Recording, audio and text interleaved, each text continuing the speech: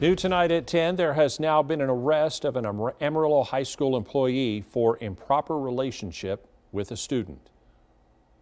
According to the Randall County Jail records, Kevin Uford was arrested for improper relationship with a student. Jail records show Uford was arrested in connection to an incident that happened last Wednesday. Last week, AISD released a statement saying the district was aware of a complaint of inappropriate behavior involving one of their employees and that the employee was placed on administrative leave. Now, Uford is listed as the girls' track and field and cross country coach at Amarillo High School. We have not yet received a statement from AISD nor details from Amarillo Police specifically linking him to last week's complaint.